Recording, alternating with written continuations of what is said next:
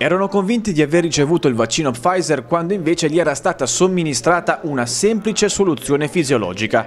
Potrebbero essere almeno 30 i casi di pazienti tratti in inganno dal loro medico di base a Falconara Marittima. Sul caso ora indaga la squadra mobile di Ancona, coordinata dalla Procura, per le accuse di falso ideologico e lesioni commessi da pubblico ufficiale. Perquisito lo studio del medico per acquisire la documentazione. Tre pazienti si erano insospettiti dall'esitazione del camice bianco al rilascio delle attestazioni di vaccinazione da una serie di inesattezze sul tipo di vaccino inoculato e sulle date del richiamo.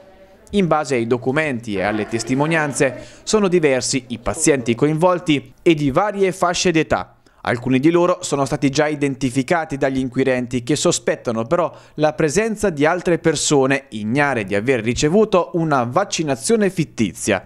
La squadra mobile, diretta dal vicequestore Carlo Pinto, sta cercando di chiarire anche come e quando siano stati utilizzati dal medico i veri vaccini in dotazione. Secondo fonti investigative, l'uomo avrebbe detto agli inquirenti di averlo fatto per accontentare i propri pazienti che lo pressavano per essere vaccinati e di non ricordare però a quali di loro avesse somministrato il vero vaccino anti-Covid.